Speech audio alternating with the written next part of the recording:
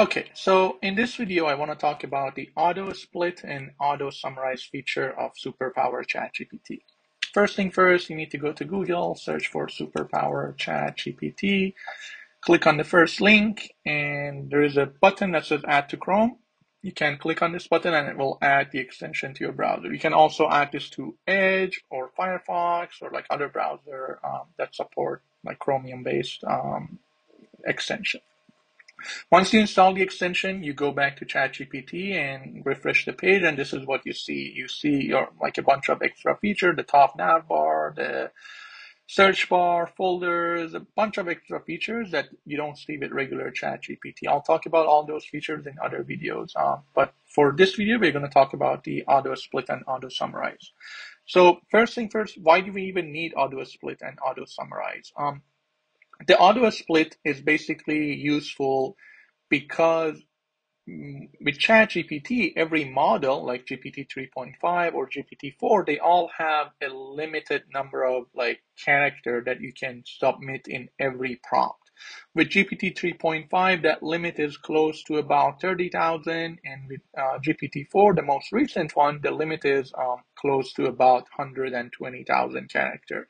The, ca- the character limit that I'm talking about is like the number of character that you can type in the input down here. And one useful feature we have down here is the character counter uh, on the bottom right of the input. It shows you how many character you have uh, already typed in the input. As you type in here, you can see the number of character and word goes up. Now, how to use um, auto split uh, with Superpower ChatGPT. First thing you need to do is to go to the setting and click on the splitter tab up here and you'll this is what you see in the setting for auto split so you see two switch at the top auto split and auto summarize i'll talk about the auto summarize later but uh, for now we're going to talk focus on the auto split so um, uh, to use the auto split feature first thing you need to do is to turn on the auto split toggle once you do that you're telling ChatGPT to um, basically split long input into multiple chunks once you turn that on, you can change the number of like the limit for the auto split chunk size. So when you use auto split, your long input will automatically be uh, divided into multiple chunks. And but this number is uh, telling ChatGPT how long do you want each chunk to be. Now, as I mentioned earlier, there's a limit for 3.5, which is close to 28 to 30,000, and GPT-4 limit is close to 120,000. So when you're setting this limit, depending on which model you're going to use later at the top here, you have to make sure that this number is smaller than the limit for that model. So if you're using 3.5, you have to make sure the number you're using here is less than 28,000 character. And if you're using GPT-4, make sure the number is less than 128,000. I'm going to just set it at 1,000 10,000 for now to test uh, the auto split later, but I could technically go anywhere close to 28,000 if I wanted to. Now, below this uh, number, you see two uh, input box. The first one is uh, the auto split prompt, and the second one is the chunk prompt. What is auto split prompt? The auto split prompt is the prompt that is used to tell ChatGPT that you are submitting your input into multiple chunks.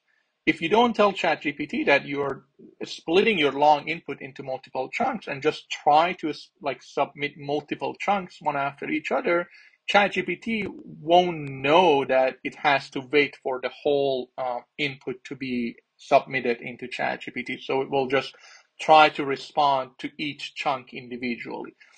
Because of that, you have to, when you first start like splitting your input into multiple chunks, you have to tell ChatGPT to wait for all the chunk to be submitted. The second input box is the prompt that is used to process each chunk. Now, the simplest case is to just confirm that ChatGPT received the chunk. You don't want to do any processing on the chunk. As soon as you submit one chunk, you tell ChatGPT to confirm that uh, it received the chunk. This is what this default prompt does. But you can also maybe go to the next level and, for example, you can tell ChatGPT to summarize each chunk after it receives the chunk, which that is what the auto summarizes. I'll talk about that later in this video, but um, for now, we're just going to leave everything the way they are. If you don't know what you're doing with the prompt, just don't change them. Leave them the way they are. Otherwise, it can cause issues with the way the auto split prompt work. So, okay, once you have this turned on, set the character limit to 10,000, for example, leave everything else the same close this and then go back to chat to uh, ChatGPT. Now I'm selecting, as I mentioned earlier, 3.5 for this example. I'm gonna copy uh, input that I have here and I'm gonna paste it in the input box.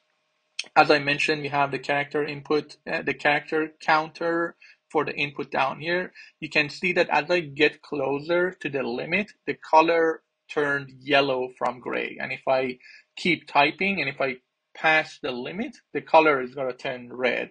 It's basically telling me that my input is too long and I have to make it shorter. Now, this, this input is, as you can see down here, is about 30,000 character. And in the auto split uh, setting, uh, if you remember, we selected 10,000 for our limit. That means we are going to have three chunk of input submitted to ChatGPT, one after each other, if we use the auto split uh, feature, which we are doing that. We are turned it on. So if I submit this uh, prompt, I expect to see three different chunk submitted to ChatGPT. So I'm just going to do that right now and see what happens. Okay, as you can see at the top, it added the auto split um, mm, uh, prompt. Now you can see the chunks are being uh, submitted and you can see the confirmation. So if you look here, uh, okay, chunk three out of three. At the beginning, at the top, this is this is the prompt that uh, I showed you in the auto split uh, setting. This is the prompt that is telling ChatGPT to wait for all the chunk to be submitted.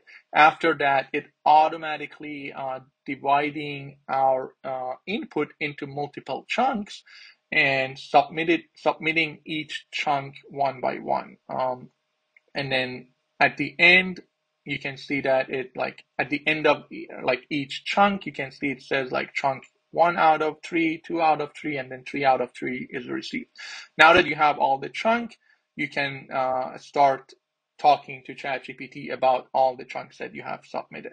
You can do the exact same thing with uh, GPT uh, 4. Now let's go back to the setting and talk about the auto summarize. So the auto summarize, as I mentioned earlier, you can change the chunk prompt uh, uh, here, the processing prompt, to do different things with um, with uh, your input. For example, you can try to summarize it, and that's exactly what the auto summarize does. If you turn this on, if you notice here, the prompt was changed, and it is now telling ChatGPT to not only confirm that it received the, the chunk, but also write a short summary of the chunk. Why is this useful? The auto summarize is useful because um, by summarizing each chunk into like a smaller amount of text and keeping that in the memory, at the end of like submitting your like very long input, you can give that summary to ChatGPT and uh, ask question about from that summary.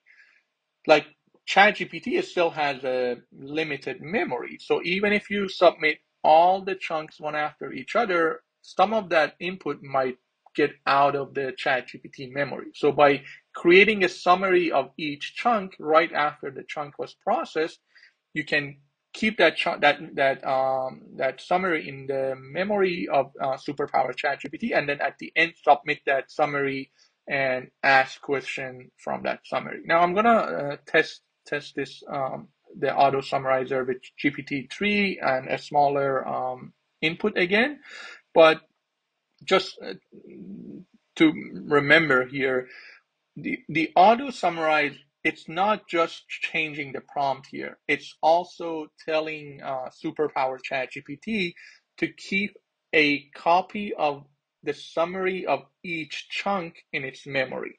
by keeping that in the memory, we can submit that at the end and uh, ask question from that, that summary. Now let's, let's test that to see how it. Okay, so um, the auto summarize is on. Uh, auto summarize for the auto summarize to work, auto split also has to be on. Well, also I'm going to change the limit back to 10,000 because we are going to use GPT 3.5 to test this. I'm going to change this to 3.5 and I'm going to use my uh, first input, which was about 30,000 character. Again, down here, you can see the total number of character and I'm going to like submit um, this input and see what happens with the auto summarize on. 30,000, submit that, and let's see what happens. Okay, now you can see that after processing each uh, chunk, it's also generating a very short summary of that chunk. And at the end, it is keeping each summary in its memory, and then at the end, Superpower ChatGPT is going to submit all of those summaries into um, ChatGPT. Now I have a summary of the full conversation for each chunk, and I can ask questions from that summary. Now, this summary, because of the prompt that we use in the uh, auto splitter, it's a, like a short summary of the last chunk. It's a short summary. It's very short, so it might not cover like a lot of the detail from that um, that input, but you can change that prompt. You can change the uh, the um, auto summarize prompt to instead of like saying like um, like a a short summary, you can maybe just remove the short or say a long summary or like a I don't know like you can you can basically change that to play around with the length of the um, summary that you want to create and um, at the end maybe have like a longer summary of your input and then be able to ask more question about like the smaller detail of uh, your input. But yeah, this is the auto split and auto summarize feature. I hope um, this is helpful. Um, give it a try. Uh, let me know what you think in the comment and uh, hope you like it. Thank you.